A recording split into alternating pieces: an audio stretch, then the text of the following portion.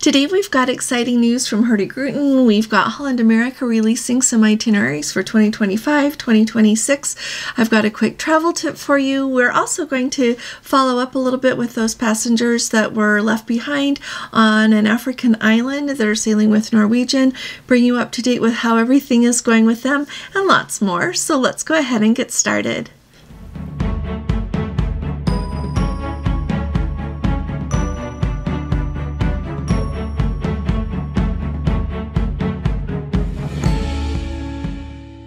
Hi there, this is Allison with Let's Go Travel Tips.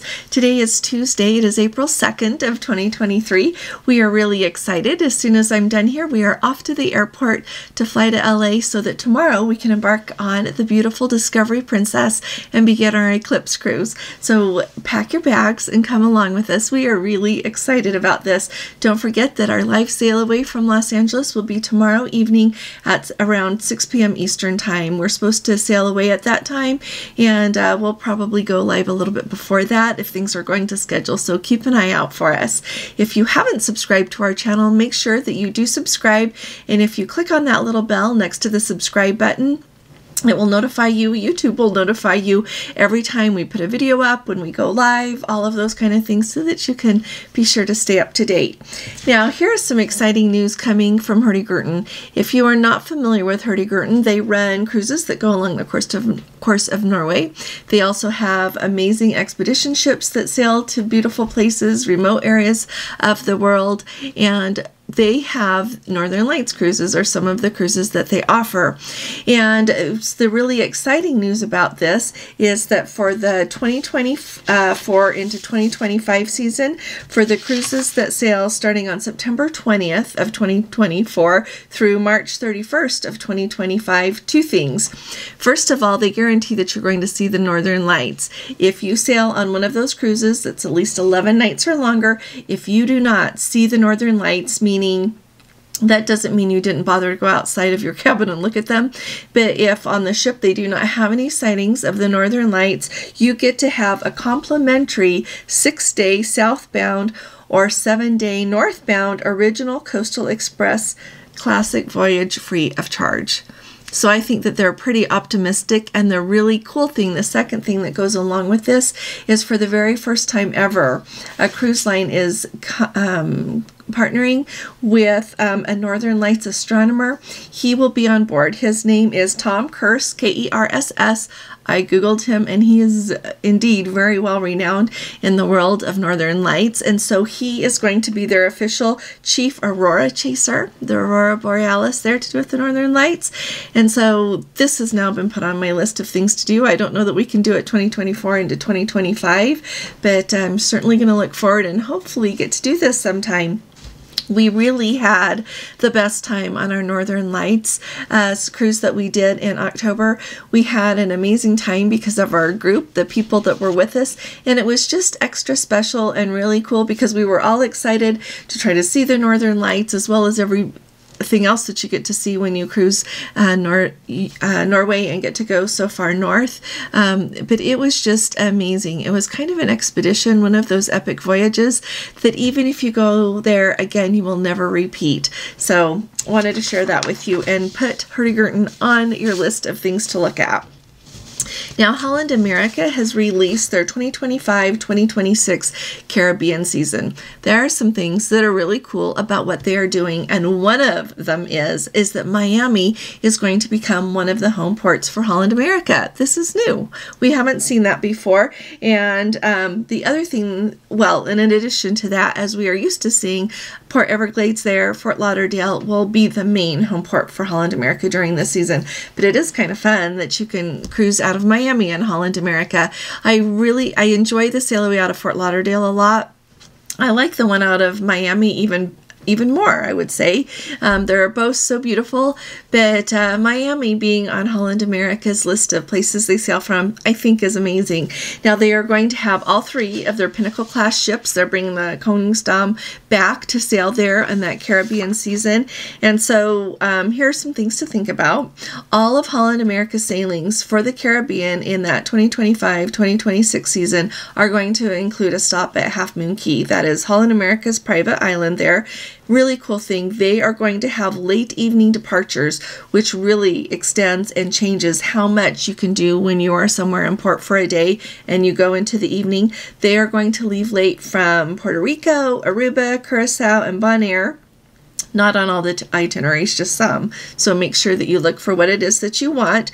They are still, Holland America started this a, a while ago and they are continuing it. They are going to have cuisine onboard highlights for local flavors and it's going to include yellowtail snapper and plantains. I love plantains. Tell me in the comments if any of this is enticing you to want to try Holland America. Um, then also in December, they are going to run 10 sailings that um, run through the Caribbean on 7 to 14 day um, length of cruises.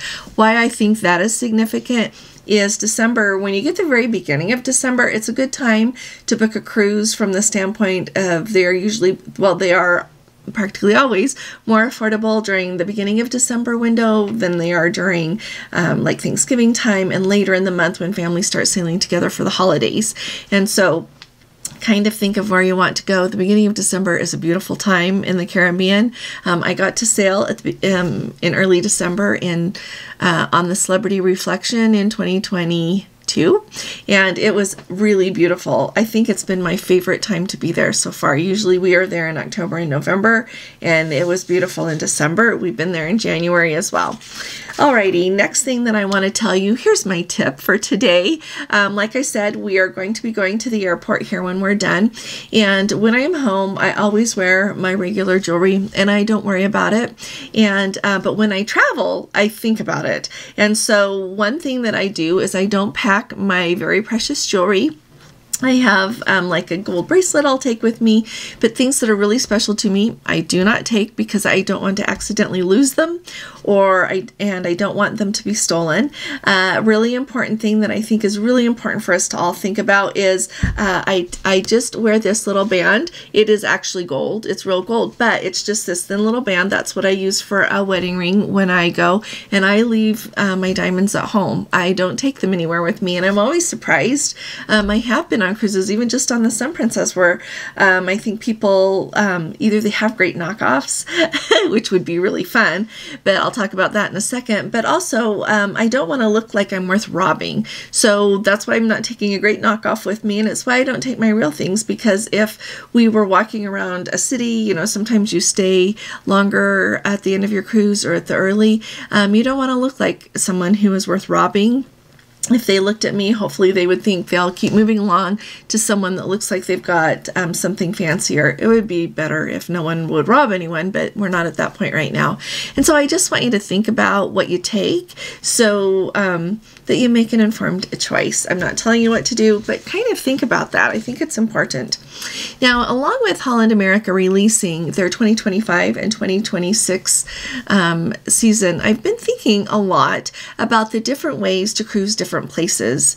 And one of the things that really struck me is, um, you know, I've been looking a lot at that March 2026 sailing that Princess has. It's like the 52 days round trip from Los Angeles.